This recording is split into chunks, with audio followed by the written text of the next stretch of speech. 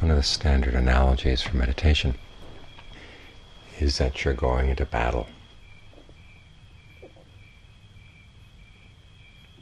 with all the habits of the mind that create suffering. They're called defilements because they darken the mind.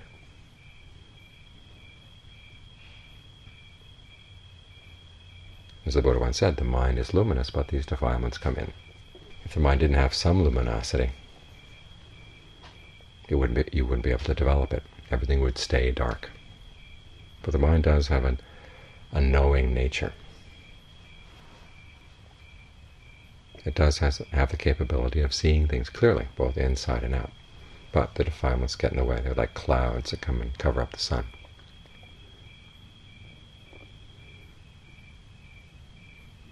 And so these are the things that we're going into battle with. Fortunately, they're not just clouds. If you tried to do battle with clouds, you'd really be up a creek trying to cut through a cloud. You, that's what is there to cut through.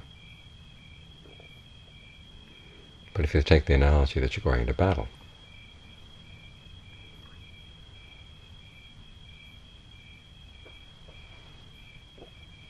you can start thinking about how, how people wage war, how people get into a fight, a successful fight. The first thing, of course, is learning how to pick your battles. There are a lot of things that you could fight about, but you waste your energy. If you waste your energy on the minor things and on the trivial things, then when the important things come, you're not up for them.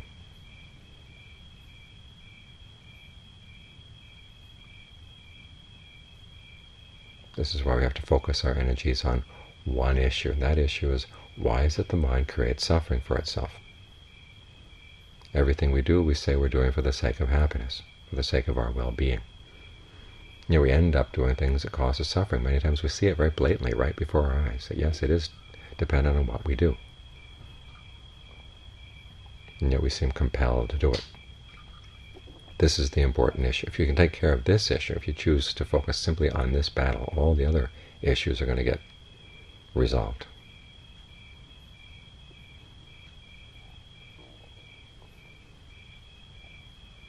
So the first step in any battle is to find a good stronghold, a place where you are secure, where you have the advantage over the enemy. This is why we practice concentration.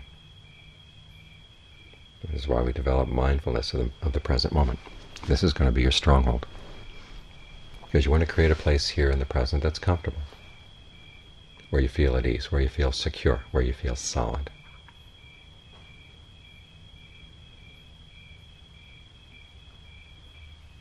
So you work on that first, staying with the breath, and just keep reminding yourself not to get entangled in any other issues right now, as best you can.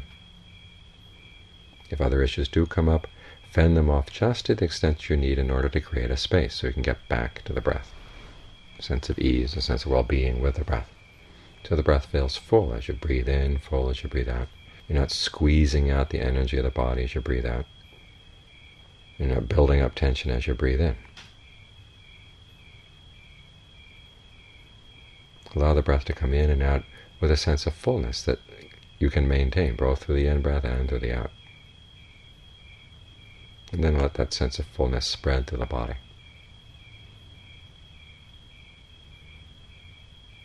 That's your stronghold. And then you want to practice being able to stay here in all situations. Because you're going to need your stronghold in all situations. There are times when you venture out to do battle with the enemy and you realize that the enemy is more than you thought it was. So you beat a strategic retreat. So you need a good place to retreat to, a place you can come back no matter what the situation. So try to try your best to get familiar with this spot where the breath feels comfortable in the body, the mind feels at ease with the breath.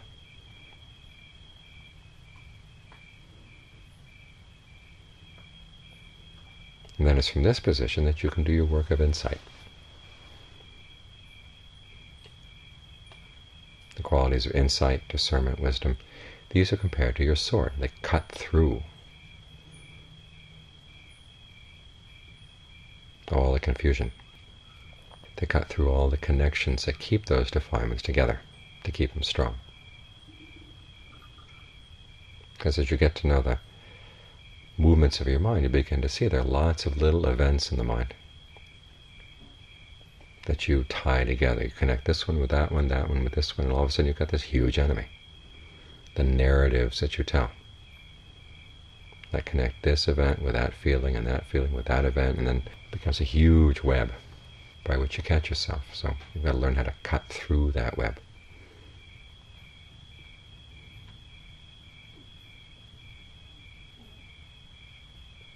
And the nature of insight, as the Buddha said, has means seeing things in five ways, or understanding five things about whatever the defilement is, whatever that story is. One, learn how simply to watch it arise. And then a second step is to watch it pass away. You see, learn to see these things as simply as events that come and go in the mind. That helps give you some distance from them. In other words, when a thought world, when a story world comes up in your mind, you don't jump into the world. You look at it as an outsider. The same as if you're driving along the road and you go past a drive-in theater and you see a, a film up on the on the screen. If you allow yourself to get sucked into the idea that there's actually a story being portrayed up there, you can drive off the road.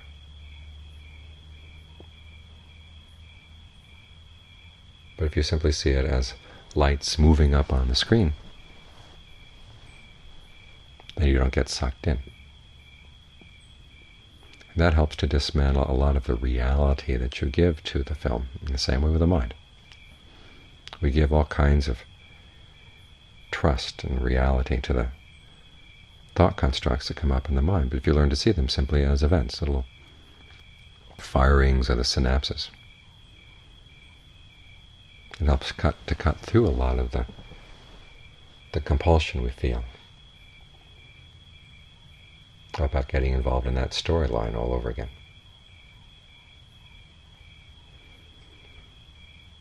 When you can pull yourself out of that thought world, then you begin begin to see the construction that goes into it.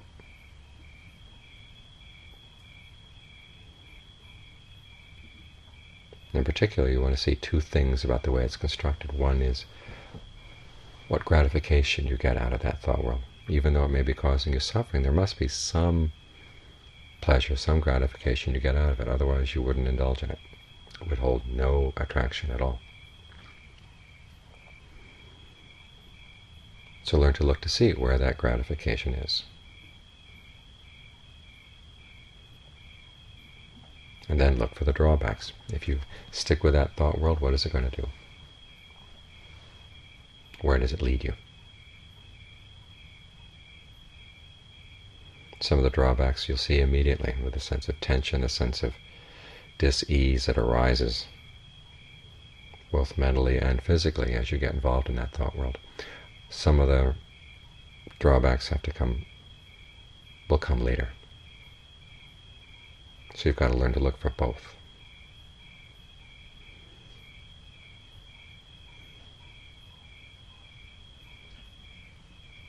Then the most difficult part is to learn to see the escape from that thought world, from that pattern, from that habit.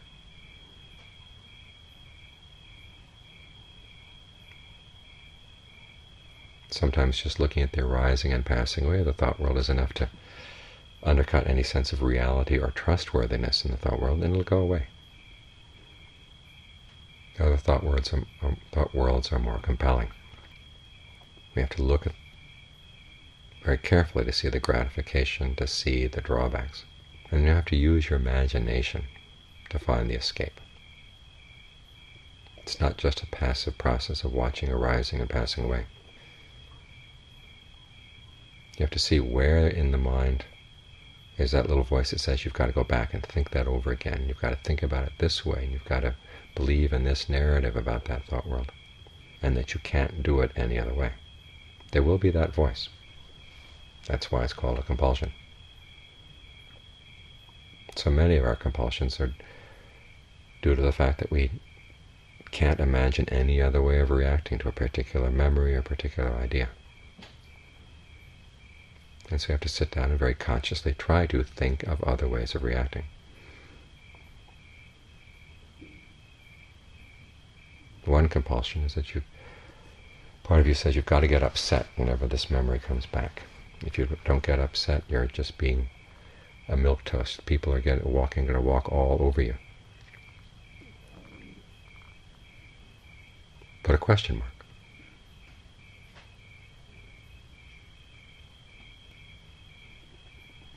And then check to see what other voices come up.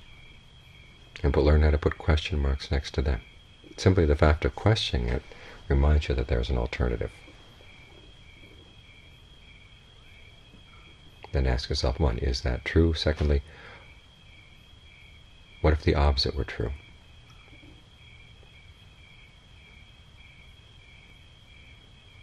And just that much can be enough to jolt your imagination to think in other ways, to get out of the rut of that particular defilement, whether it's greed, anger, delusion, lust, fear, pride, jealousy, whatever.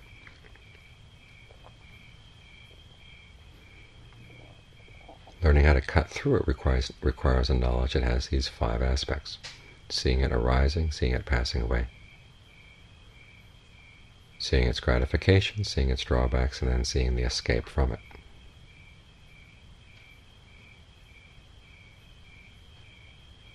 When your sword can cut in all five directions in this way, then you can really cut through these things.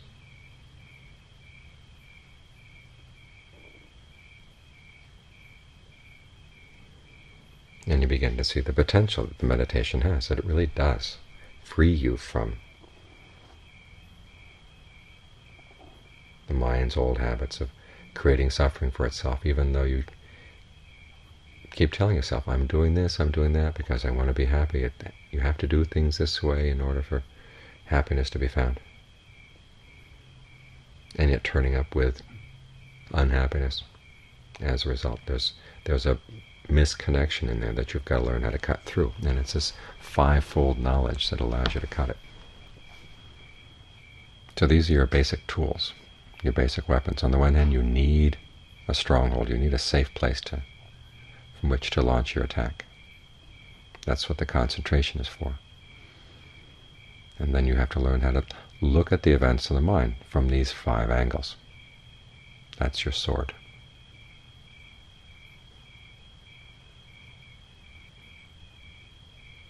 This way you take on the really essential battle in life, which is to free yourself from suffering. And these are the tools you need to win.